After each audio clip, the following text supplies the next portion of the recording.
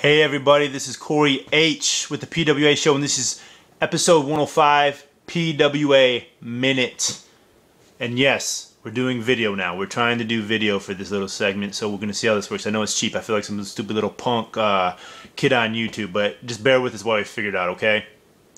So this week in the Adder Drop section, we talk about um, Super 8. We talk about the Nashville Roller Girl uh, video, Hell or High Water. We interviewed Deja Brandis, the director of this uh, movie, uh, a while back, and go back and listen to that. But Dave got the DVD in the mail, and he definitely recommends it. Um, we also uh, talk. We actually we, play Ender's song. Um, where he goes after Hammerjack. He says he's smarter than Hammerjack, so you need to check that song out because it's pretty awesome. And yes, Andrew Hammerjack has heard it. And uh, we talk about Crossfire Rec- uh, Crossfire Records, Crossfire Wrestling, and how Bret Hart is coming to the next one. So check it out, thepwashow.com.